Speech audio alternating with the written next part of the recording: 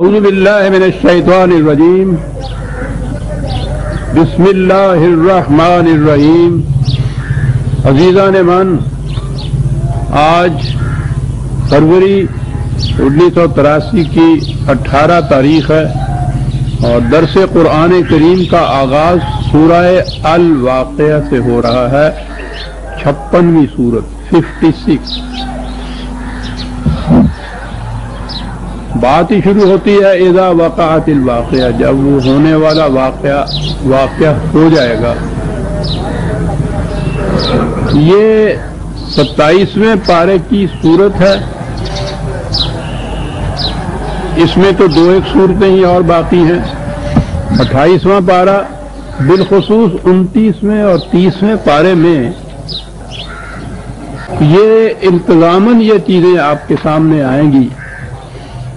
जिनमें कहा जाएगा कि जब ये ज़मीन पड़ जाएगी, आसमान उड़ जाएगा, पहाड़ रेजा रेजा हो जाएँगे, गर्दो गुबार की तरह उड़ जाएँगे। ये चीज़ें बार बार इन सूरतों में आएँगी। और जैसा मैंने अर्ज़ किया है, उनतीसवां और तीसवां पारा तो बिलखसूस इसी किस्म के वाकयात से भरा हुआ है। हमारे यहाँ के मुतकदमीन और उन्हीं के इतबा में मुतखरीन भी, इनके मतलब कहते हैं कि ये कुर्ब क़्यामत की निशानियाँ बताई गई हैं। ये जब होगा तो फिर क़्यामत आएगी। ज़मीन पड़ जाएगी, आसमान टुकड़े टुकड़े हो जाएगा, पहाड़ उड़ जाएँगे, रेजा रेजा हो जाएँगे और फिर क़्यामत आ जाएगी। क़यामत यानी ज़िंदगी के बाद दूसरी ज़िंदगी। वो तो हमारा जज्व ईमान है, बुनियाद है ईमान की। उसमें तो शक और शुबा कोई नहीं। लेकिन जैसा कि मैंने अर्ज़ किया है कुरान करीम सिर्फ़ मौत के बाद की ज़िंदगी का ही ज़िक्र नहीं करता। वो इस ज़िंदगी में भी जो इनकलाबात आते हैं उनका ज़िक्र करता है। यहाँ की जहन्नम की ज़िंदगी का ज़िक्र करता है। और अगर सही निज़ाम हो कुरान के मुताबिक तो यहाँ जन्नत अर्जी का भी ज़िक्र करता है। इसलिए कुरान में जहाँ इस किस्म के मकामात आए, वहाँ ये देखने की बात होती है कि वो यहाँ की क्यामत के मुतलक ज़िक्र कर रहा है या मरने के बाद की क्यामत के मुतलक ये जो इस किस्म के वाकयात का ज़िक्र आता है, ज़मीन फट जाएगी, आसमान टुकड़े टुकड़े हो जाएगा, पहाड़ रेजा रेजा हो जाएँगे, ये सब कुछ।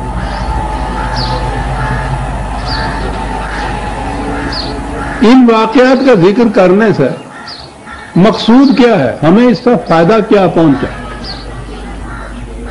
ये भी सही बात है कि ये जो मादी तखलीक है खुदा की जो कुछ भी उसने पैदा किया है, वो अबदी नहीं है, हमेशा के लिए रहने वाला नहीं है। इलाजल मुसम्मा, वो एक वक्त मुना के लिए कानून फितरत के मुताबिक, अल्लाह ताला के कानून के मुताबिक वजूद में लाया गया और उसके बाद इसने मधुम होना है, कुछ अंजाम इसका होना है, अबदी नहीं है। लिहाजा ये चीज़ भी हमारे ईमान में है कि ठीक है। खा ये टुकड़े टुकड़े हो जाए या वैसे मालूम हो जाए, हम नहीं कह सकते। लेकिन सवाल ये है कि आज से 1400 साल पहले जब नाजल हुआ कुरान, उसके बाद 1400 साल की जे ज़िंदगी हमारे सामने ये आयात आती है क्यामत तक के लिए, यानी अबदी तौर पर इन आयात में रहना है हमारे सामने। तो इनसे हमें क्या फ़ायदा है कि आखिर में जाके और वो पता नहीं कि वो आखिरत कब आनी है। आखिर में जाके ये पहाड़ रेजा रेजा हो जाएँगे, आसमान के कुरे टुकड़े हो जाएँगे, ज़मीन टुकड़े हो जाएगी। तो अगर ये ऐसा ही होना है, तभी तौर पर तो ये हो जाएगा। हमारा आज इससे क्या ताल्लुक? ये तो हमारा ईमान है कि ये नहीं रहना। न ज़मीन, न आसमान, न पहाड़, तभी कायनात ठीक है। लेकिन ये चीज़ के, इन चीज़ों का इस तरह से कुरान करीम के इन पारों में इस मस से इनका यादा तकरार, हमें इससे क्या फ़ायदा है? जी?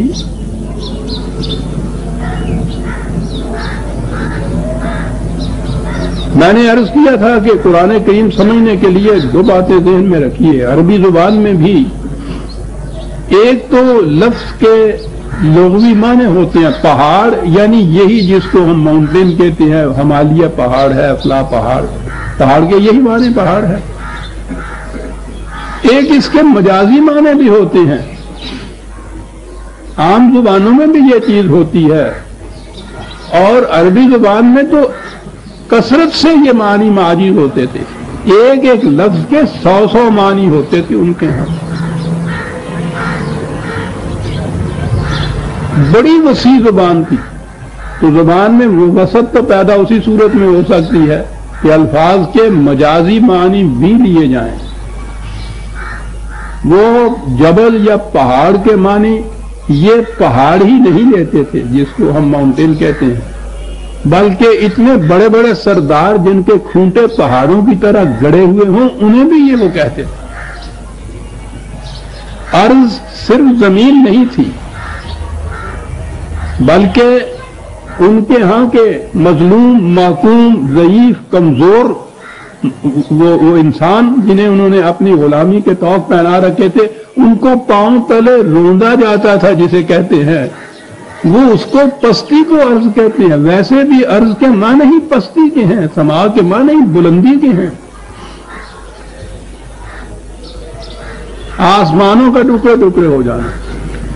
ये जो अपने आप को बुलंद मुकाम के ऊपर आज रखे हुए हैं, तुम देखोगे कि इनका अंजाम क्या होता है। अब अगर इनके मानी ये मजाजी लिए जाएँ तो सारी बात समझ में आ जाती है।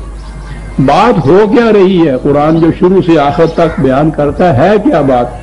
हक और बादल का तसादुम है, कश्मकश है, टकराव है।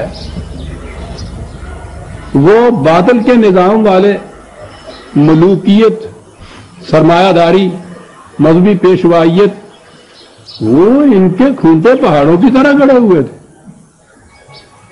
इनको कौन हिला सकता था?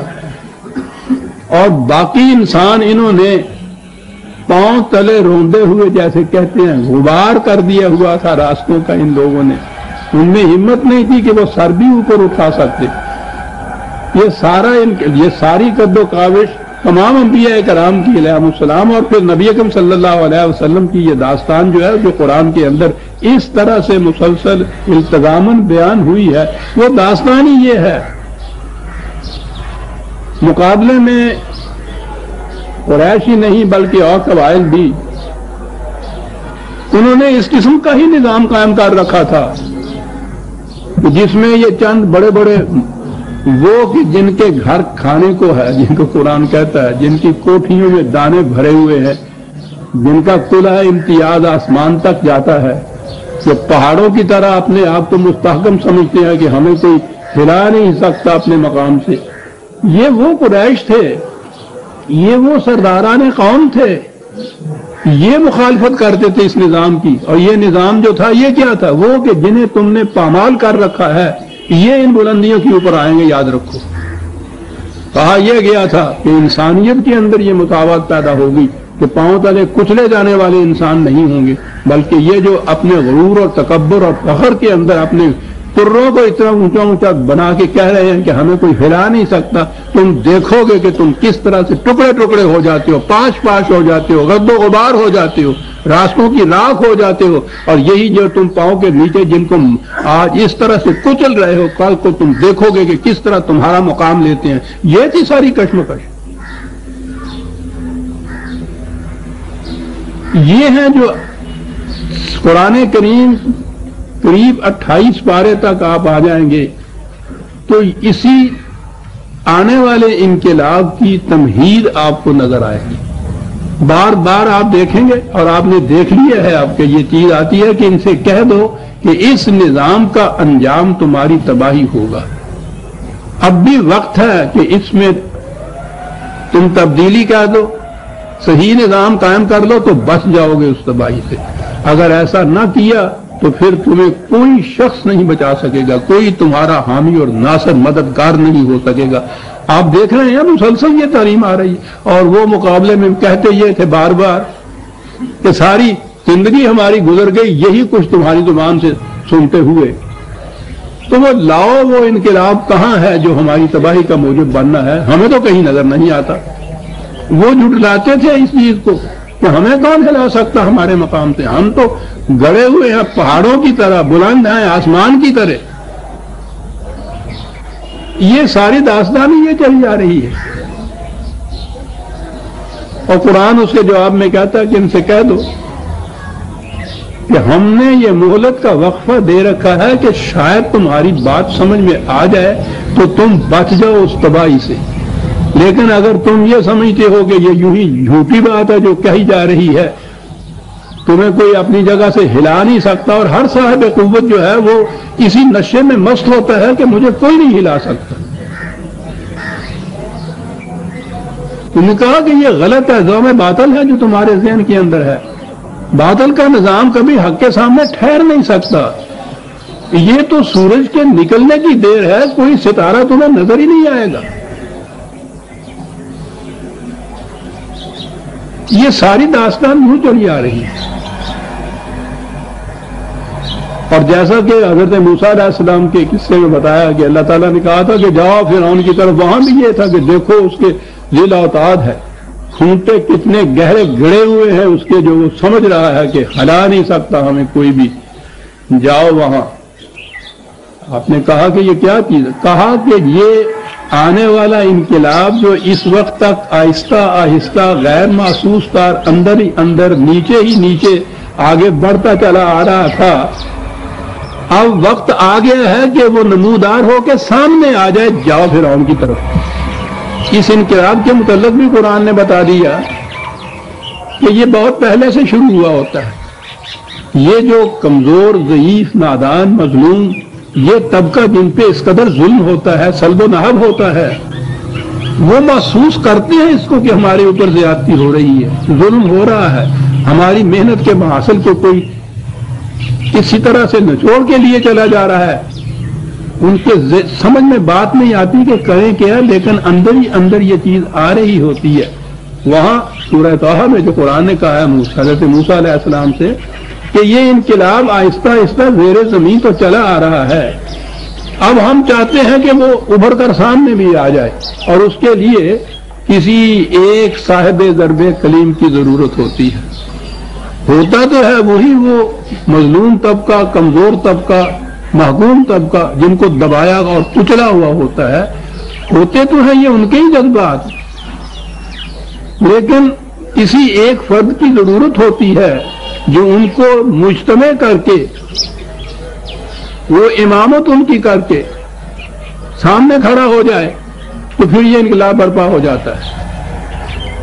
वो इकबाल जो इस दास्तान को दोहराए हुए, वो तो कहता है कि खून इसराइल आ जाता है आखिर जोश में और तोड़ देता है कोई मूसा तलिस में सामरी। बात तो खून इसराइल के जोश में आने की होती है। ये वहाँ पकड़ा होता है इससे पहले। वो इंतज़ार कर रहा होता है कि कोई मूसा आए जो तलिस में सामरी को तोड़ दे। हर जगह यही होता है। हजूर के जमाने में भी यही सूरत थी। यानी इनकी निस्बत जो ये ऊपर पहाड़ों की तरह और आसमानों की तरह उठे हुए होते हैं होती कितनी है। खुद ये मदीने और मक्के की ज़िंदगी में करीबन पचहत्तर फ़ीसदी आबादी इन गुलामों की थी। ऊपर वाला तब तक गिनती में होता कितना है? लेकिन उनके पास वो कुतें इतनी होती हैं कि ये बेचारे तादाद की कसरत के एतबार से उठ ही नहीं सकते।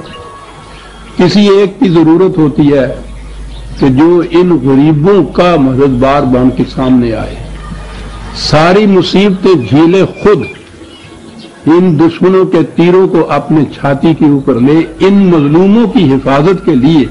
वो कुत उनकी होती है। वो जो इनके खिलाफ दिलों के अंदर जज्बात के लावे पक रहे होते हैं, उनके फूटने का वक्त आ गया हुआ होता है। ये इतने पच्चीस, छब्बीस, बल्कि सत्ताईस, अट्ठाईसवें पारे तक कुरान ये तमहीद बयान करता चला। आ रहा है और इन पारों में आके याद रखिए, कुरान की ये तरतीब भी बड़ी ही तदरीजी वाक़ हुई है। जिस तरीक से ये इनकलाब आना होता है, कुरान एक निसाब की किताब है। वो शुरू से बात इस तरह से आहिस्ता आहिस्ता आगे लाता है कि ये सारे मनाजिर जो है, इनकलाब के, इस एतबार से आप कुरान को अगर मुताल करें तो आप देखेंगे अजीब चीज़ नज़र आएगी। तो इन मनाजिल को तय कर, बताता जाता है, तदरीजन आगे लाता चला जाता है, आहिस्ता आहिस्ता बढ़ाता चला जाता है। आखिरी पारों में आके फिर वो खुले बंदों ये बात करनी शुरू कर देता है कि अब ये पहाड़ पहाड़ नहीं रहेंगे, टुकड़े टुकड़े हो जाएँगे। ये तुम्हारी आसमान के तुर्रे उड़ने वाली पगड़ियाँ जो हैं, इस फजा के अंदर बिखरी हुई नज़र आएँगी। ये जो इस तरह कुचले हुए लोग हैं, ये उभरे हुए नज़र आएँगे। वो इन अल्फाज में फिर ले आता है आखिरी पारों में। और उसके बाद फिर ये इनकलाब आया। पूछो नहीं कि ये उस उस जमाने के ये जो तुर्रावाज थे, उनके तकबर और तबाखुर का तो पूछो क्या था कि वो क्या थे? जहनीत उनकी क्या थी? बदर के मैदान में अबू जहल का जब सर काटने लगा है, उससे नौजवान ही था, मुसलमान मुजाहिद। तो उसने कहा कि ये मेरी गर्दन जरा नीचे से काटना। उसने कहा, वहाँ तो बड़ी तकलीफ़ होगी वहाँ तो हड्डियाँ होती हैं। तो ये कहा के लिए तुम क्या रहे हो? तरह नीचे से काटना। कोई बात नहीं, कोई एक साथ जाएँगे जी तो वो उनको समझा देंगे।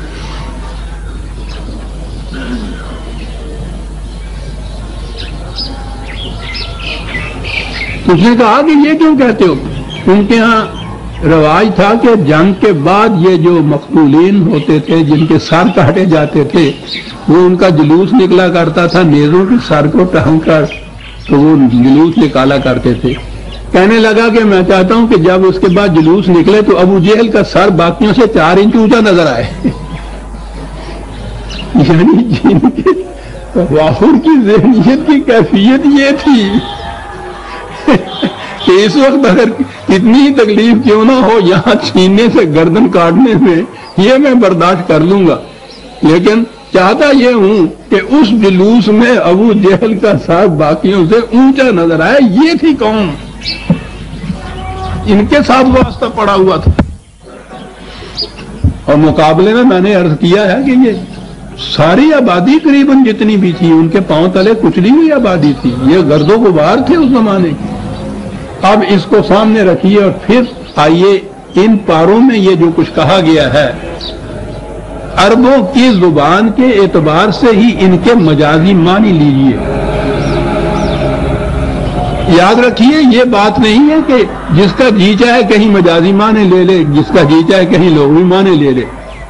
उनकी ज़ुबान में ये मजाजी माने मौजूद है, मौजूद थी। अब सवाल इतना ही बाकी रह जाता है कि ठीक है आप उसके लोग लोग भी माने लेते हैं। तो यही कहेंगे कि ठीक है, हम हमालिया पहाड़ के जो पत्थर हैं, वो उड़ जाएँगे और ऊपर चले जाएँगे।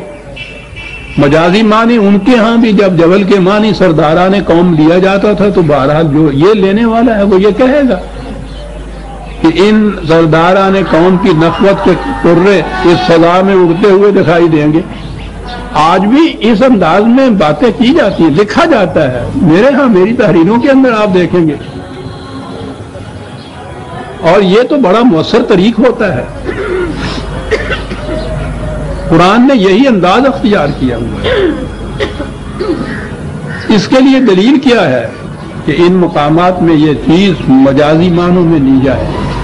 यहाँ भी देखेंगे जो सूरत सामने हमारे आ रही है और दीगर मकामात में भी आप देखेंगे। ज़िक्र हो रहा है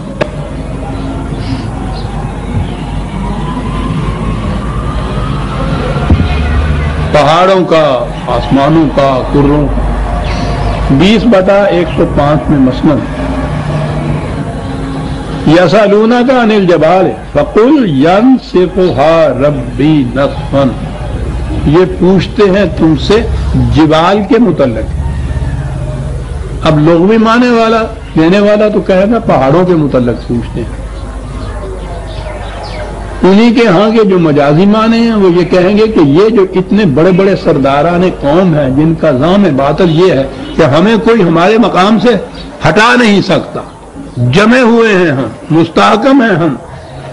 इनके मुतलक पूछा जाता है कि इनका अंजाम क्या होगा। यजरो कान सफन ला तरा है एवजन वाला अमता। इनसे कहो कि इनका अंजाम ये होगा कि गुबार की तरह उड़ जाएँगे इनमें ना कोई करी बाकी रहेगी, ना कोई ना नाहमवारी बाकी रहेगी। रोल रोलर फेर दिया जाएगा। अब ज़ाहिर है कि अगर हिमालय पहाड़ या उससे कोई छोटा केटू वाला भी इस तरह से हमवार कर दिया जाए तो इसका असर हम पे क्या पड़ता है? वो तो उनके मुतलक कहा जा रहा था कि इनसे कहो कि ये होगा हशर। अब इसके बाद ये है कि ये माने कैसे लिए गए? पहाड़ों के टूट जाने थे, उनके पत्थरों से फट जाने से इंसानी दुनिया को तो कोई वास्ता नहीं होता। इसके बाद आप देखिए कि क्या यौमा दिन ला तनफा शफात। जिस दिन ये वाक़ होगा, फिर किसी की सिफारिश किसी काम नहीं आएगी। तो अगर ये पत्थरों वाला पहाड़ टूटना है तो उसके साथ ये माने कि किसी की सिफारिश काम नहीं आएगी।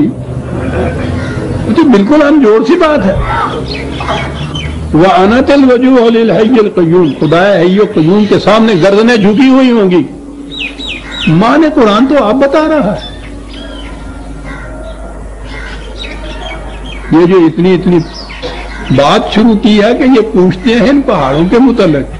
तो वो इन पहाड़ों के मुतलक ये जो थे वहाँ के पारान की चोटियाँ, उन पत्थरों के मुतलक नहीं पूछा जा रहा।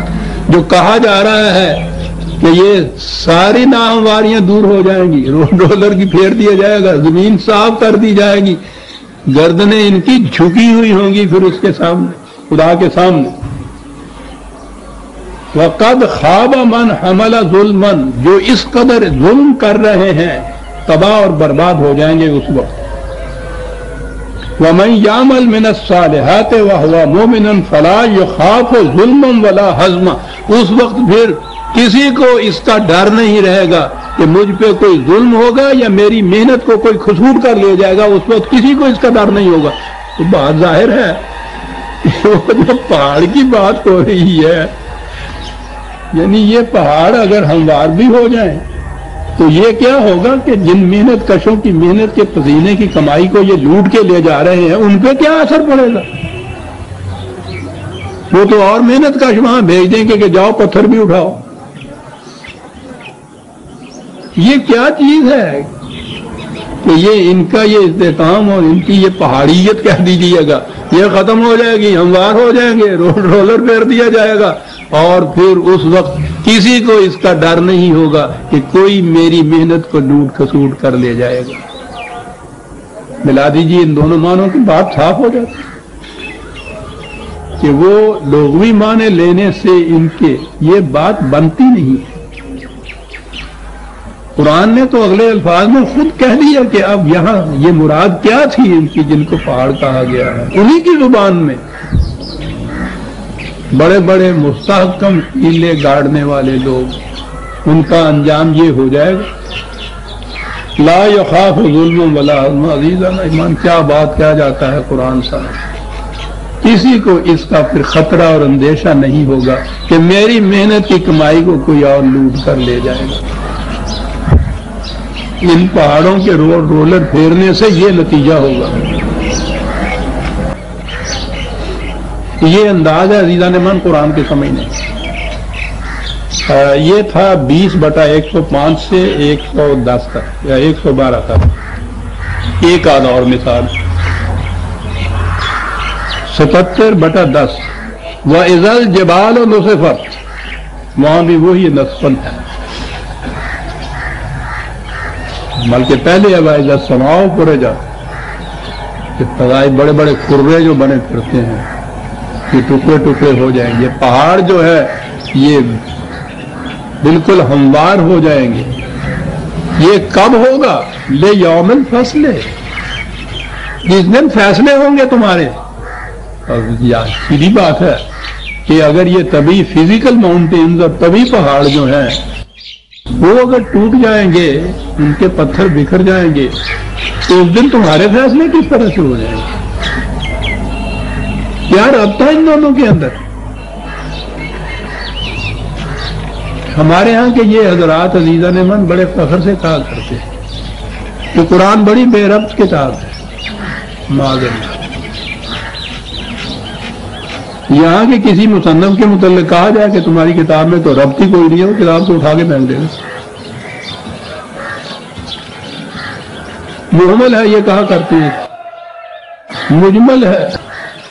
यानी जितनी खराबियाँ किसी तसलीफ में होनी चाहिए ना, वो खुदा की इस किताब में माजल्ला एक एक करके बयान करते हैं।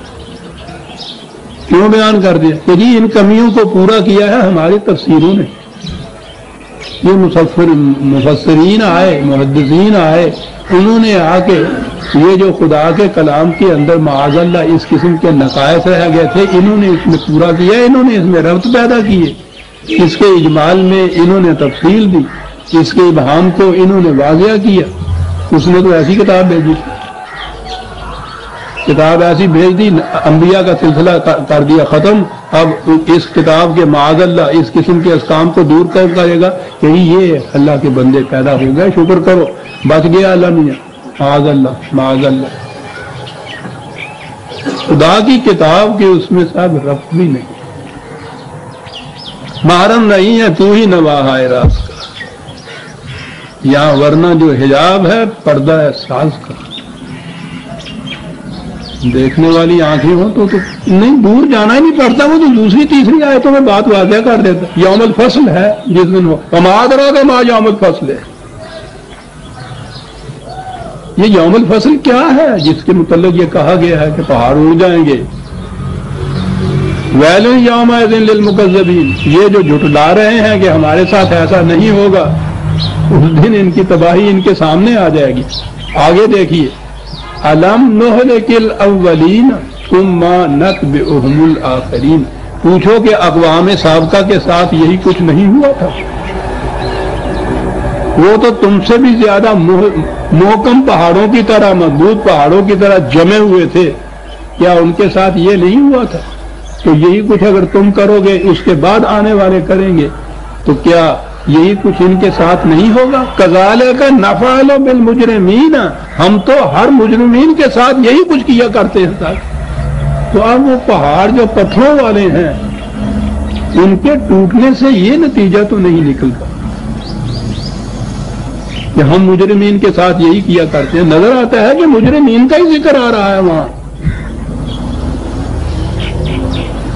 वो मुजरमीन जो अपने निज़ाम बादल में समझे हुए थे कि हमें कोई हिला नहीं सकता। मुकदमीन कहा है ना बार बार उनसे ये कहा जाता था तो वो कहते थे कि क्या कह रहे हो तुम? हमें कौन हिला सकता हमारे मकाम पे? तो बात इन मुजरमीन की हो रही है। उनके अंजाम का ज़िक्र हो रहा है। इस तमहीद को जहन में रखिए। तो अब ये जो बातें कुरान कहेगा ना, वो बातें समझ में आ जाएँगी कि क्या कह रहा है। ये अब वो आखिरी वक्त भी आ रहा था तारीख में नबी अकम सल्लल्लाहु अलैहि वसल्लम की जो तारीख है, इस इस कश्मत शहब तो बादल की, उसमें भी ये पहले स्टेज, पहले जितने भी मोहलत के वक्फे थे, वो गुजर सकते चले जा रहे थे। मदीने में हिजरत भी होके आ गई थी। उन्होंने उस पर भी पीछा नहीं छोड़ा था। और यहाँ से अब टकराव शुरू हुआ था। और ये टकराव फिर जंग के मैदानों में जाके शुरू हुआ। और उसके बाद फिर उस जंग के मैदानों की तारीख देखिए आप, कि किस तरह इनके, जैसे मैंने कहा, इनके ऊँचे ऊँचे तुर्रे और एक कुला किस तरह फजा की पहनाइयों में उड़ते हुए नज़र आते पहाड़ों जैसे मोहकम जो थे टुकड़े टुकड़े हो गए थे और जिन्हें इन्होंने पामाल कर रखा हुआ था, उनके अंदर ऐसी हरकत पैदा हो गई थी कि उबर के ऊपर आ गए थे। ये है जो कुरान कहता है, इजा वक़ातिल वाक़ तो लैसा वाक़ात काजिबतुन. अब वो जो आने वाला इनकलाब आएगा, वाकया जिसे हम कहते हैं इवेंट आमतौर पर इसको कहते हैं, कुछ भी कहिए, वो हादसा जो आने वाला है, वो इनकलाब जो आने वाला है जब वो आएगा, और यही कह दिया कि उसके वाक़ होने में किसी किस्म का शुबा नहीं है, याद रखो। ये झूठी बात नहीं है जो कही जा रही है। आएगा, होगा वो वाकया। उस वाकया में होगा क्या? अजीजा ने मान, दो लफ्ज है कुरान में। होगा ये कि खाफिजा तुम राफियतन, ये जो पस्तियों में गिरे हुए हैं, बुलंदियों में पहुँच जाएँगे। दो लफ्ज। होगा ये हाफिजतन जो भी है, राफियतन हो जाए। कुरान का तो अंदाज ही अजीब है तो अजीजा ने दो लफ्ज हैं, होगा ये। थलेरे ऊपर आ जाऊँगी राफियत। अगर इन लफ्जों के बुनियादी मानों में जाऊँ तो फिर और बड़ा लंबा वक्त चाहिए इसके लिए। इसके लिए अजीजा ने मान, पता नहीं ज़िंदगी मोहलत दे या नहीं। जब भी किसी के जहन में आपके यहाँ कुरान को समझने की ये बात हो ना तो दो बातें मैंने एक काम ये जो किया है मुझे उस पर अल्लाह ताला की तौफीक से, जो लुगात मैंने लिखा है, कुरान करीम का उसमें इन अल्फाज के जो मादे के एतबार से बुनियादी मानी है, वो मैंने उसमें दिए हैं और फिर बताया है कि उस जमाने में, जमाना नजूल कुरान में अरब किन मानों में इस लफ्ज को इस्तेमाल करते थे। और फिर सात कुरान की आयतें दी हैं मैंने। वहाँ अगर आप देखेंगे ना, फिर नज़र आ जाएगा कि ये खाफिजतुन और राफियतुन इस बात क्या है? तो मफहूम बयान करने के लिए तो यही है कि ये जिनको पस्तियों में धकेल दिया गया है, ये रिफतों में और बुलंदियों में चले जाएँगे। तो मैं समझता हूँ कि इससे ज़्यादा कहने की ज़रूरत ही कुछ नहीं।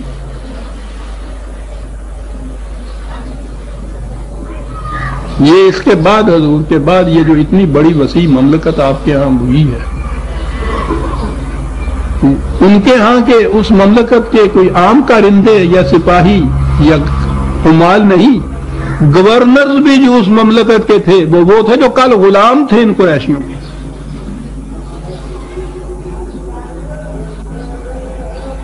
ये थे जो खाफिजत और राफियतन हुए। बड़े बड़े मकाम जिनको हासिल हुए थे, वो मवादी थे। वो गुलाम थे इन लोगों। सामने थे ये लोग भी। उनकी ज़िंदगी में ये कुछ हो गया था। वो कहा कि ये लैसा ले वाकयात काजिबात और ये आने वाला इनकलाब झूठी बात नहीं है, ये हो जाना है। हजूर के सामने ही हो गया। उसके बाद भी आया।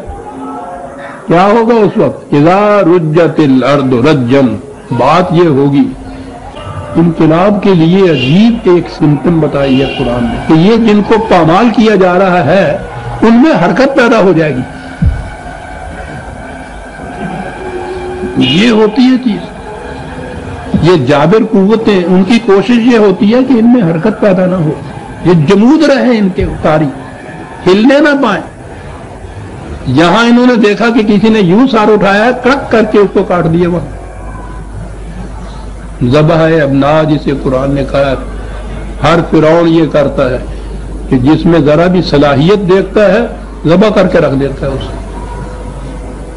इजा रुजत अर्द रजन ये जो पस्तियों में गए हुए हैं वह जुलजलातिल अर्द जिलजाल है। आगे आएँगे जी अब। मैंने इसलिए आज तमहीदन ज़रूरी समझा बयान करना कि इसके बाद जो आयतें या सूरतें आएँगी, उनमें ये आएँगी इस तरह हाथ इसी तरह से। तो होगा क्या? कैसे ये इनकलाब आएगा? पहली चीज़ ये है कि ये जिन्हें पामाल किया जा रहा है, जिनको दबाया हुआ है, जिनमें हरकत नहीं है, जिनमें नमूद तारी है, जिनको उठने नहीं दिया जाता, जिनको हिलने नहीं दिया जाता, उनमें हरकत पैदा हो जाएगी। पहली चीज़ ये होती है तो उसका नतीजा क्या होगा? वह बुस्सत तेल जबाल बसन ये जो बड़े बड़े पहाड़ तो में नज़र आ जाए, वो गुबार की तरह उड़ जाए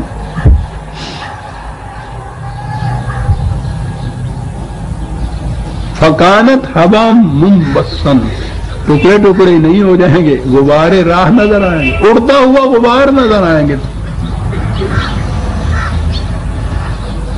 और यहाँ तक कहने के बाद फिर वही चीज़ जो सूरह रहमान में पीछे गुजर चुकी है कि असाबकून अवलून और उसके बाद फिर आने वाले यही लोग जो थे, इनकलाब के दायान पहल करने वाले पानियर्स व कुन तुम अजवाजन सलासा।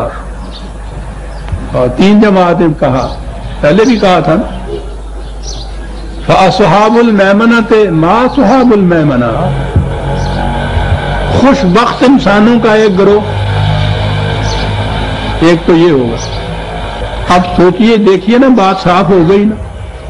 अगर शुरू में उस अर्ज़ के माने ज़मीन हो जाती है हरकत के माने जलजले होते और पहाड़ों के टूटने के माने पत्थरों वाले पहाड़ों का इस तरह से गुबार बनना होता। उसके साथ ही ये जो आयतें आई कि कैफियत ये होगी कि तुम्हारी जमात ये जो है, इनकलाब लाने वाली, ये मदारज के एतबार से ये तीन किस्म के ये लोग होंगे तो उसके साथ रब्त ही नहीं पैदा होता। तो रब्त तो होता ही इसलिए है कि वो अर्ज़ उठे और ये जो बड़े बड़े पहाड़ हैं, ये रेजा रेजा हो जाए तो फिर तुम देखोगे कि ये जो इनकलाब लाने वाली मुकर्रबीन की जवाब है, अब उनका ज़िक्र चला रहा है कि ये उनमें, मैंने कहा था ना पिछली दफ़ा भी कुरान करीम ने एक तो सबकून अव्वलून कहा है यहाँ भी आगे आएँगे, ये लफ्ज। इनके लाभ लाने वालों की जो सबसे पहली पानियस जो इनके अंदर होते हैं, उनके रुतबे बड़ी बुलंद होते हैं। दुनिया भर की मुसीबतें इन्होंने झील ली होती वो जो माशरे के साथ रहने की जन्नत होती है, वो तो छिन जाती है। और जिस जन्नत की तामीर के लिए ये अपना खूने जिगर देते हैं, वो अभी कहीं नज़र नहीं आती, पैदा हुई हुई। इस दौर के अंदर ये गुजरते हैं साबिकून जो होते हैं। इनके हिस्से में तो मुसीबतें और सहूबतें और मुश्किल और दुशारियाँ ही होती हैं। और जैसा मैं तस्वीर में कहा करता हूँ, ये कसरे इनकलाब की बुनियाद की ईंटें होते हैं ये। बुनियाद की ईंटों को कोई देख ही नहीं सकता। उनके जी में भी कभी नहीं ये आती कि हम जरा सा सर ऊँचा करके इनको बताएँ कि साहब, हम भी तो पढ़े हैं राहुल में। न वो मुतमैन होती हैं, बुनियाद की ईटें कि बोझ जितना है इमारत का हमारे सर पे रहे। और उन्हें कोई देख भी ना सके, ये साबिकून होते हैं, बड़े दिल गुर्दे के लोग होते हैं। एक ये है, वह सहाबुल मशमात है, मा सहाबुल मशमन और उनके मुकाबले में ये होंगे, बदबख्तियाँ जिनके हिस्से में आएँगी। पहला ग्रोह किनका है? असाबकून असाबकून उलाए कल मुकर्रबून ही जन्नात नईम। ये साबिकून असाबकून मुदद मकामात में ये आया है।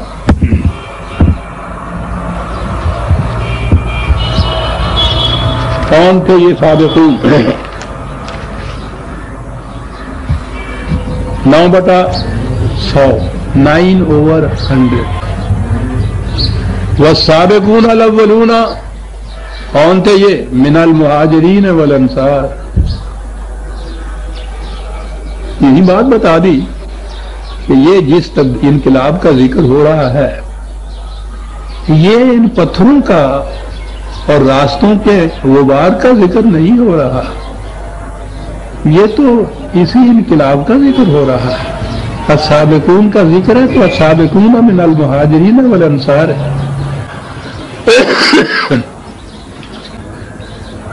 उसके बाद, वल्लाजीन तबाऊहम बेहसान फिर जो इनके बाद भी आए हैं, वो भी अपने हसनात का, अपने जितने उन्होंने नेक अमाल किए हैं, उनका बदला भी उनके है। क्या है? रज़ी अल्लाह अन हम व रजू अन हो वो जो आम तर्जुमा है, अल्लाह उनसे राज़ी हुआ, वो अपने अल्लाह से राज़ी हुए। जब ये आयत आएगी तो मैं अर्ज़ करूँगा इसके माने क्या होते हैं। वह अदम जन्नात तजरी तहल अनहार खालदीन अबदा। इनके लिए पहले से ही, इसी ज़िंदगी में कहा कि हमने तो इनके आने से पहले ही इनके लिए जन्नत तैयार कर रखी। क्या बात, ये साहबा के बाहर है, अजीजा नमान, अंसार और महाजरीन, दोनों का ज़िक्र आया हुआ इसके अंदर। किसी एक की इस्तना नहीं की गई। मैं तो कभी अपने दर्श में फिरका दाराना बात नहीं किया करता। फिरके की बात ये नहीं है कि अहल तशिया क्या कहते हैं इनके मतलब उनका तो ईमान है कि रसूल्ला के बाद सिर्फ़ पाँच अर्थ से जो मोमन रह गए थे, उन्हें छोड़ दीजिए। खुद इन सुनियों से पूछिए। बुखारी की इस हदीस से पूछिए कि क्या कहते हो कुरान के इस इस सर्टिफिकेट के बाद? कि हजूर क्यामत के मैदान में होंगे और एक ग्रोह का ग्रोह फरिश्ते जहनम की तरफ़ लिए करे जा रहे होंगे। तो आप कहेंगे कि कहाँ लिए जा रहे हैं इनको? कहेंगे जहन्नम में। आप कहेंगे, ये तो मेरे साहबी है, ये तो मेरे साहबी हैं। ये आपके यहाँ की बुखारी शरीफ उसमें ये है। ये आप क्या कहते हैं? जवाब मिलेगा कि ये ठीक है, साहबी थे। जब तक आप इनमें थे, ये आपके साथ थे। आपके जाने के बाद इन्होंने नहीं कुछ किया। कुरान कहता है कि इनके लिए उलाय का मोमिन हक्कन कहा है कुरान ने। ये पक्के और सच्चे मोमिन हैं। उनकी ज़िंदगी में कहा कि ये खुदा से राज़ी हो गए, खुदा इनसे राज़ी हो गया। कहा आदलहुम आदलहुम इन सब के लिए हमने पहले से जन्नत तैयार कर रखा है। कुरान ये कह रहा है। और आपके यहाँ ये चीज़ मिल रही है। उन्होंने तो जब अपने यहाँ ये अकीदा बदा किया तो सवाल आया ना कि ये तो पीछे पड़ जाएँगे हमारे। करें क्या? करना बड़ा आसान है। एक हदीस इनके यहाँ भी ठोक दीजिए बात ठीक हो गई। कि साहब हमें आप क्या इल्ज़ाम देते हैं। हमारी चीज़ के मतलब आपका क्या ख्याल है? असाहल रुतबे बाद किताब। सही तरीके अकीदा ये है कि बुखारी और मुस्लिम की एक हदीस का इनकार भी दायरा इस्लाम से खारिज कर देता है। इस हदीस से आप भी इनकार नहीं कर सकते। दायरा इस्लाम से खारिज कर देता है, फिर काफिर हो जाती है। काफिर होने के बाद होता क्या है? आपको पता है कुछ? कुछ पता नहीं, बैठे रहो। और ध्यान ना सुनिया करो ना गलत। कल ही तो है जो फतवा उन्होंने दिया है। कल के जंग में है ना जी? कहा यह है कि वो मर्दो, हटियो कटियो, जवानों। ये समझा लो अपने यहाँ की ये जो औरतें हैं तुम्हारी।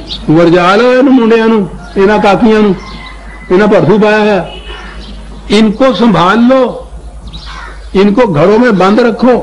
अगर ऐसा ना करोगे तो हम इनके खिलाफ फतवा लगा देंगे। कुफर का नतीजा ये होगा कि तुम्हारे नका टूट जाएँगे।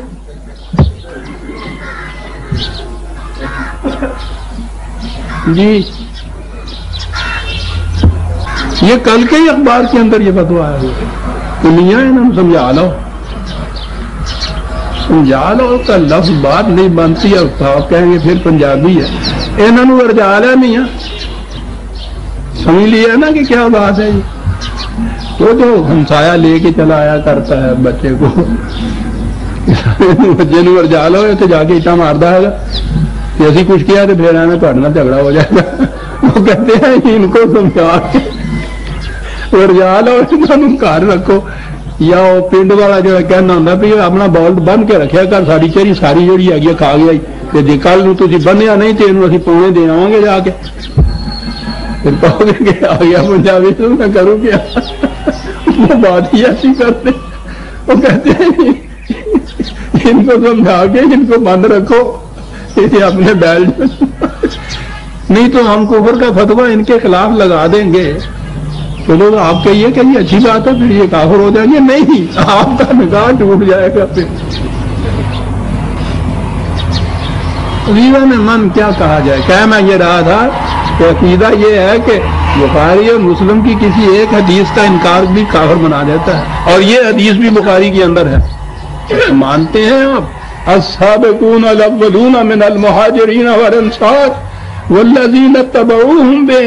उनके बाद भी रज़ी अल्लाह अनहुम व रजू अनहु व अअद्द लहुम जन्नातिन तजरी तहतिहा अल-अनहार खालिदीन फीहा अबदा ज़ालिकल फौजुल अजीम। आपने गौर फरमाया कि ये जो पहाड़ों का टूटना है और ज़मीन की हरकत है तो ये इन पत्थरों का टूटना और इस पूरे अर्ज़ का फटना नहीं है। वरना उसके बाद ये ये जो मजमून चला आ रहा है, इस मजमून में रबती कोई नहीं रहता। कि ये जो इस वक्त फर्रे खां बने बैठे हैं और अपने आप को इतना मुहकम, मुस्तहकम समझते हैं कि हमें कोई हिला नहीं सकता। टुकड़े गर्दो गुबार हो जाएँगे। ये पहले कहा कि टुकड़े उड़ जाएँगे इनके। फिर उसे कहा, गुबारे राह हो जाएँगे। किस वक्त होगा? जब वो जिन्हें इन्होंने पाँव तले रोंद रखा है, उनमें हरकत पैदा होगी तो। उनमें फिर ये टुकड़े होंगे, और उसमें साबकून साबकून उलाय कल मुकर्रबून अपी जन्नात नईम। अल्लाह। इनका हक है साहब, जो जो पानियर्स होते हैं साबकून अलवलून होते हैं इनकलाब लाने वाले उनका ये हक हो। उनके हिस्से में तो मुसीबतें ही आती हैं बेचारों देखा हुआ ही नहीं हो। इन इनकलाब लाने वालों में आम तो एक तरफ़ रहा। खुद नबी अकम सल्लल्लाहु अलैहि वसल्लम के जहन में भी, ज़िंदगी के शायद आखिरी दौर में ये मासूम सी आरज़ू उभरी कि या अल्लाह मेरी ज़िंदगी इन मुसीबतों और मुश्किल में ही गुजर जाएगी, या जिस इनकलाब के लिए मैं ये जो कुछ कर रहा हूँ, मैं अपनी आँखों से उसकी झलक भी देख पाऊँगा या नहीं? ये एक थी खुदा से कहा, उसी वक्त जवाब वहाँ से मिल रहा है। अर्ज़ करूँ, अपनी कमज़ोरी को मेरे जहन में ये था कि भाई इसके जवाब में तो ये होना चाहिए था कि नहीं, ये दिखाया जाएगा। लेकिन कानून तो वो है कि जो किसी की जज्बाती रियायत ही। करता कहा कि ये तुम्हारा काम नहीं है, ये समझना कि ये कब वाक़ होगा। अलैकल बला हिसाब। तेरा काम ये है कि इस पैगाम को पहुँचाए चले जाओ। ये हमारा कानून बताएगा कि उसकी रूह से ये इनकलाब वाक़ कब हुआ। सादकून में तो ये हस्तियाँ भी शामिल हैं। जिनसे खुदा है, उनसे भी ये यकीन वादा नहीं देता कि नहीं तुम्हारे सामने ही हो जाएगा। अगर ये तो हो तो गया। साबकून साबकून अलमुकर्रमून अफी जन्नात सुल्लतुम मिन अव्वलीना व कलीलुम मिन बड़ी जमात पहलों में से, थोड़े से बाद में आने वाले। क्या कैफियत होगी? ये जो गुबारे राह हैं, जो उठेंगे फिर तो अब जन्नत की ज़िंदगी की आ गई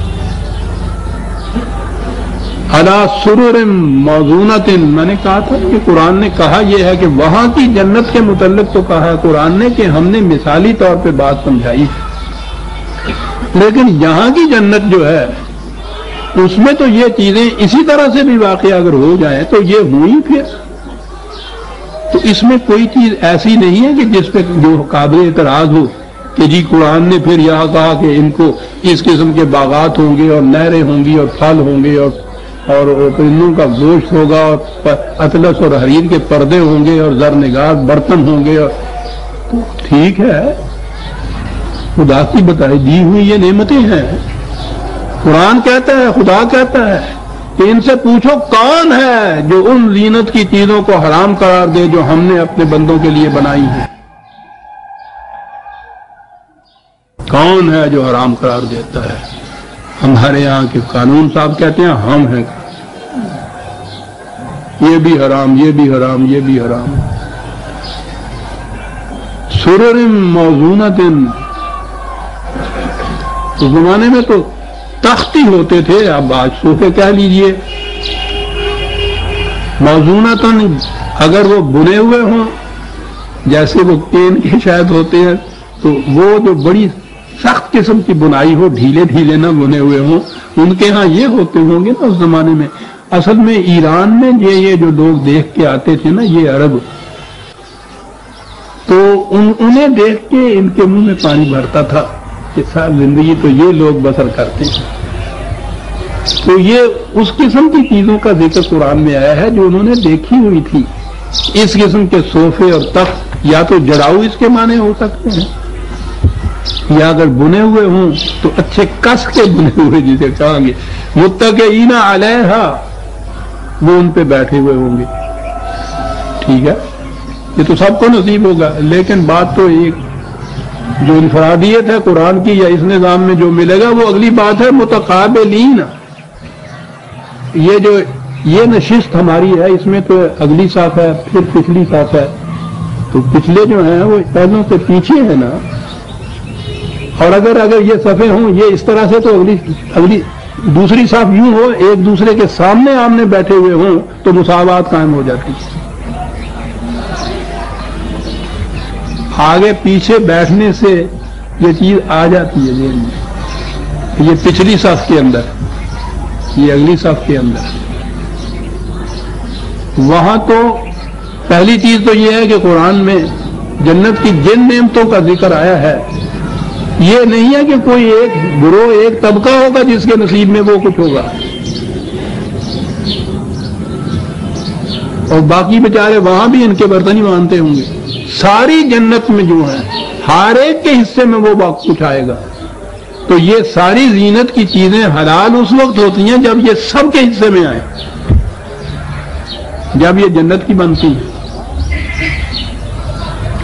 तो कहा यह कि वो सोफे जो रखे हुए होंगे या तख्त रखे हुए होंगे, इस तरह होंगे कि एक दूसरे के सामने आमने वो बैठे हुए होंगे, एक दूसरे के पीछे नहीं होंगे।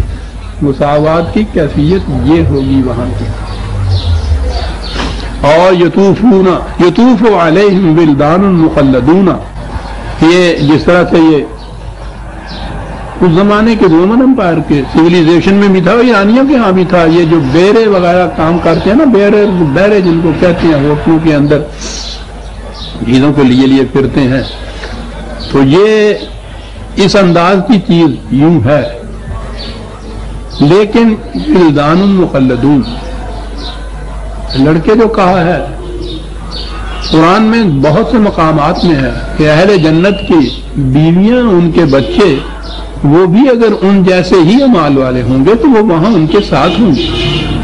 तो ये ये वो उनके बच्चे हैं जिनके मुतल ज़िक्र किया है। और मुखलदून कह के ये कहा कि इनकी जवानियाँ यूँ ही नहीं ढल जाएँगी। बहुत बड़ी देर पा जवानियाँ रहने वाली। जवानी के जमाने में अगर अपने अखलाक और इसमत को बरकरार रखा जाए तो जवानी की उम्र बड़ी लंबी होती है। क्या बात कही है सर विलदान की भी। ये भी वहाँ होंगे। बे अकवाबिम व अबारी का व कासिम में मईन ये शीशे के आभोरे, सुराहियाँ, और उसके बाद फिर वही खसूसियत। तो जो ही ये बात करता है, अपनी खसूसियत साथ ले आता है, कासिम प्याले इसकी तो मिन वही जारी रहने वाले पानी थे। याद है ना आपको? सूरा रहमान में ये बात आई थी तो खसूसियत है, जारी रहने वाला, जिसके सामने बंद ना किसी ने लगाया। और जो पिया जाएगा, ला यु सद्दाऊना अनहा वला युम वो नशावर नहीं होगी। उस जन्नत की कुत से बदमस्ती नहीं आएगी। किसी किस्म का वो नशा नहीं होगा। मुतवाले नहीं हो जाएँगे। बहक नहीं जाएँगे, बदमस्त नहीं हो जाएँगे इन पीने के साथ। वो जन्नत का दूर सकता है। वक्त हो गया है। आगे भी यही इसी जन्नत की तफसीलात हैं। याद रखिए, यहाँ ये निज़ाम जब कायम हुआ था, हजूर नबी अकम सल्लल्लाहु और बाद में साहबा के ज़माने में, बिलखसूस हज़रत उम्र के ज़माने रज़ी अल्लाह जब ये ईरान वगैरह फतह हुआ है, ये सारी चीज़ें अरबों को मुयसर आ गई थी। आते हैं, ईरान ने जब चिट्ठी लिखी है हज़रत उमर रज़ी को तो वहाँ का जो कुछ वहाँ का माल था, उसको साथ भेजा है। तफसील जो भेजी है, उसमें ये चीज़ है। एक एक चीज़ लिखी और उसमें ये कुरान की इन आयतों के हवाले दिए कि ये देखिए, कुरान ने जो कहा था, वो ये है प्याले, वो ये है सुराहियाँ, वो ये है पर्दे। उनको तो इसी ज़िंदगी के अंदर ये सब कुछ मिल गया था। तो ये सारी चीज़ें, अगर वो सही कुरानी निज़ाम हो तो उसमें ये मिलेगी, लेकिन हर एक को मिलेंगी, तबकाती तकसीम नहीं होगी। हम सूरह अल वाक़ की, वो आयत 19 तक आ गए हैं। बीसवीं से फिर लेंगे। रबना तकबल मिन्ना इन्ना का अंत समी शुक्रिया।